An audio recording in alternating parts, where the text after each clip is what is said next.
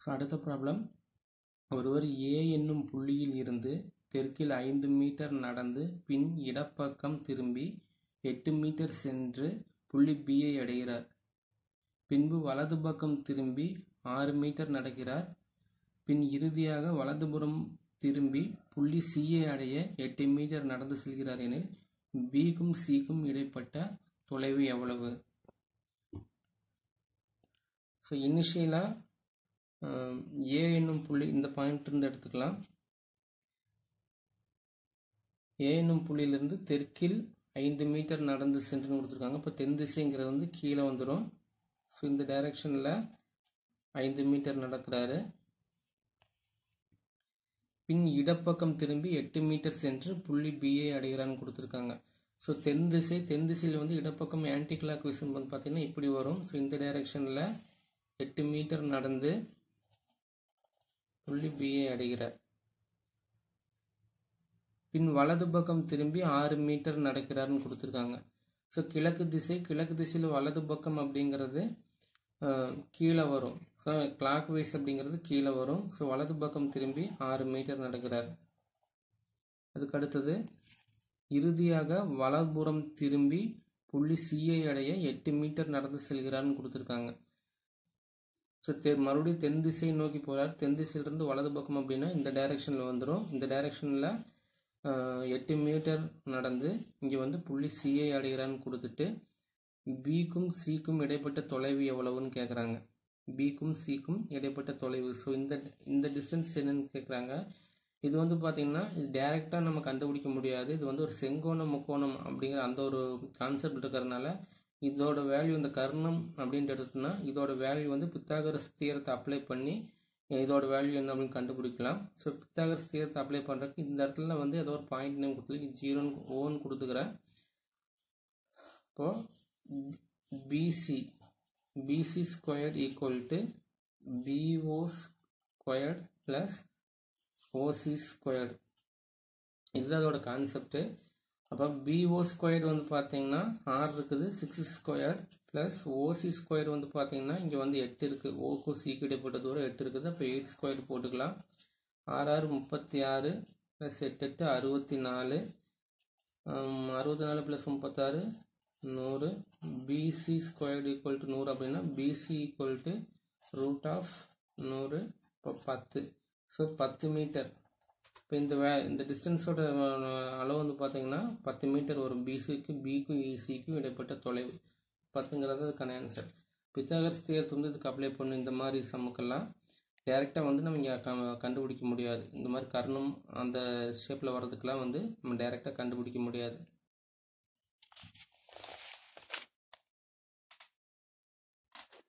அடுத்த ப்ராப்ளம் ஒருவர் ஏ என்ற புள்ளியிலிருந்து தொடங்கி கிழக்கில் பிஐ நோக்கி மூன்று மீட்டர் சென்று இடதுபுறம் திரும்பி சிஐ அடைய முந்தைய தூரம் போன்று மூன்று மடங்கு நடக்கிறார். மீண்டும் இடதுபுறம் திரும்பி ஏ மற்றும் பிக்கு இடையே உள்ள தூரம் போன்று ஐந்து மடங்கு சென்று டிஏ அடைகிறார் எனில் ஏக்கும் டிக்கும் இடைப்பட்ட தொலைவு எவ்வளவு அப்படின்னு கேட்குறாங்க ஸோ ஏ என்ற புள்ளியிலிருந்து தொடங்கி கிழக்கில் பிஐ நோக்கி மூன்று மீட்டர். பாயிண்ட் இது வந்து ஏன்ட்டு எடுத்துக்கலாம் கிழக்கு திசை இது. கிழக்கில் மூன்று மீட்டர் நடந்து இது வந்து பி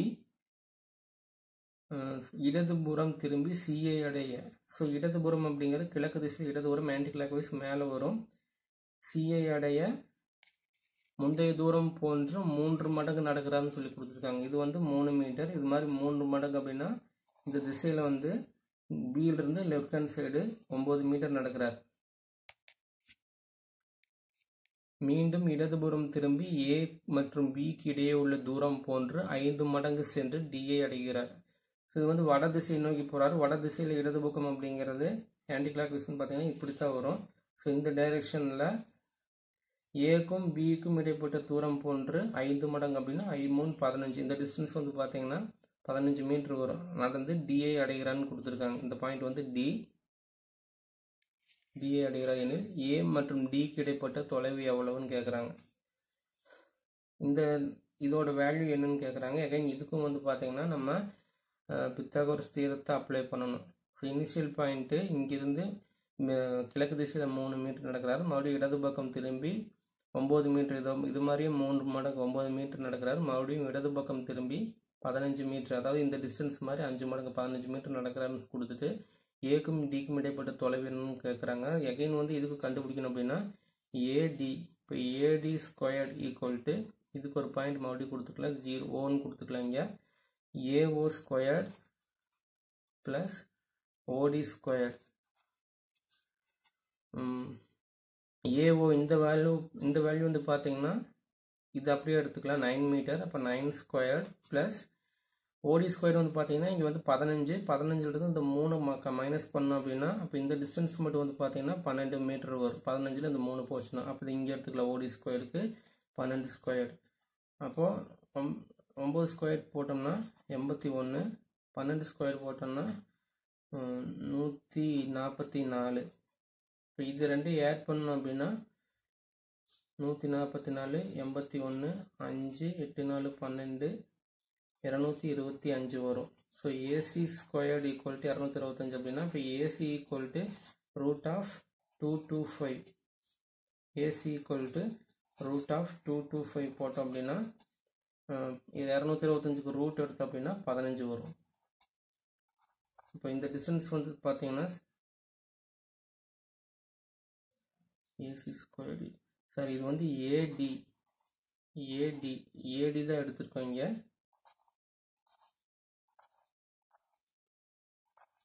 இப்போ ஏடி இந்த வேல்யூ வந்து பார்த்தீங்கன்னா பதினஞ்சு.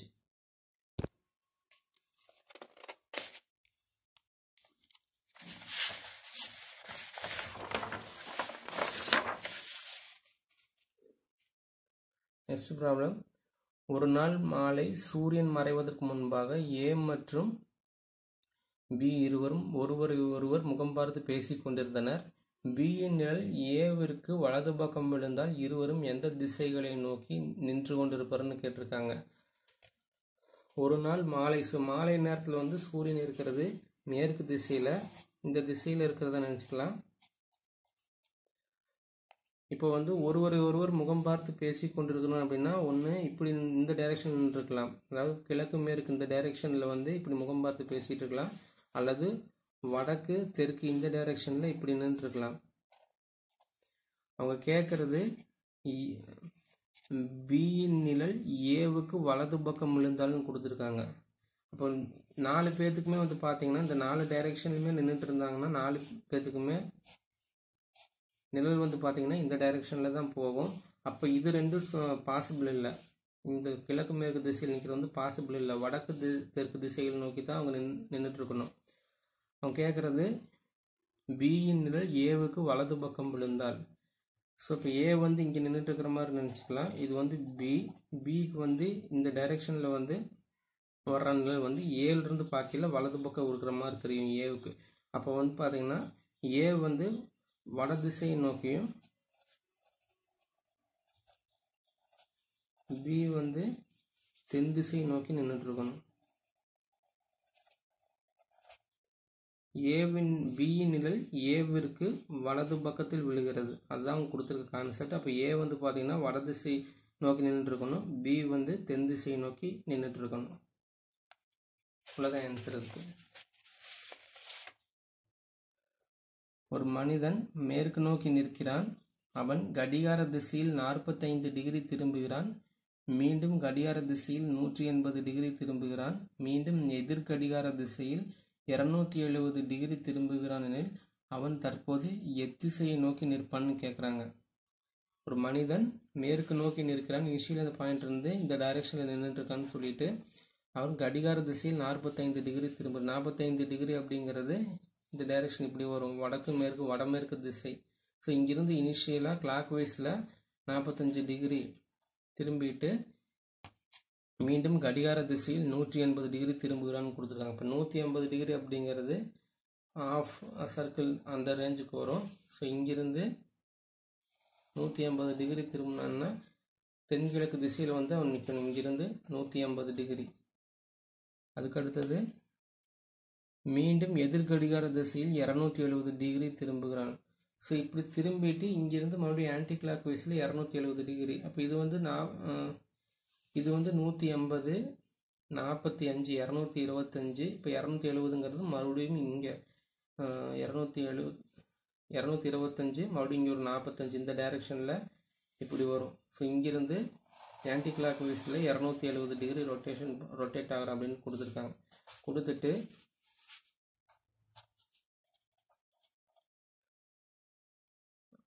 தற்போது அவன் எத்திசை நோக்கி நிற்பான்னு கேட்குறாங்க ஸோ இங்கிருந்து பார்க்கல தெற்கு மேற்கு. இப்போ வந்து தென்மேற்கு தென்மேற்கு திசை நோக்கி அவன் ஃபைனலாக நின்றுட்டு இருப்பான்.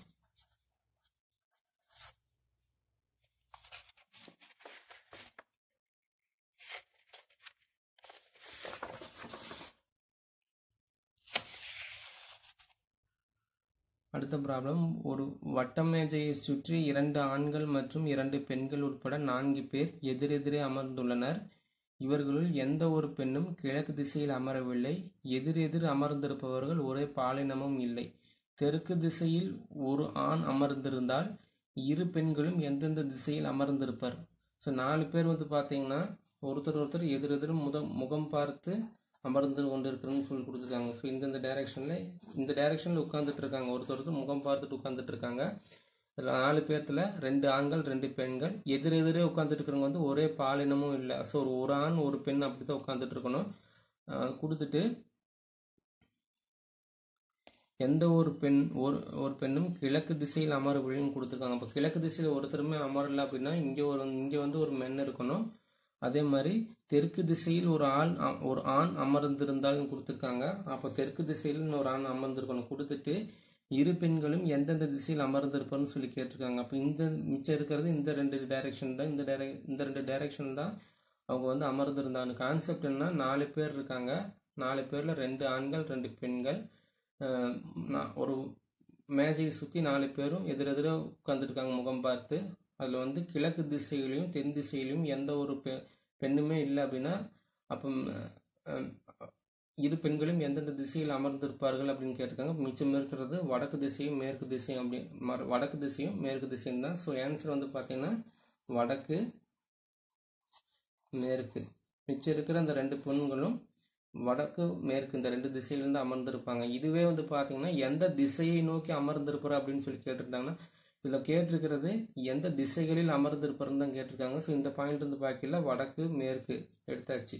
இதுவே எந்த திசையை நோக்கி அமர்ந்திருப்பார் அப்படின்னு கேட்டிருந்தாங்கன்னா பெண் இங்கிருந்து இந்த திசை வந்து பார்த்தீங்கன்னா தென் திசை இங்கிருந்து இந்த திசை வந்து பார்த்தீங்கன்னா கிழக்கு திசை தெற்கு கிழக்குன்னு வந்திருக்கும். ஆனால் அவங்க கேட்டிருக்கிறது எந்த திசைகளில் அமர்ந்திருப்பார் மட்டும்தான் கேட்டிருக்காங்க. ஸோ அதனால வடக்கு மேற்கு தான் இதுக்கு ஆன்சர்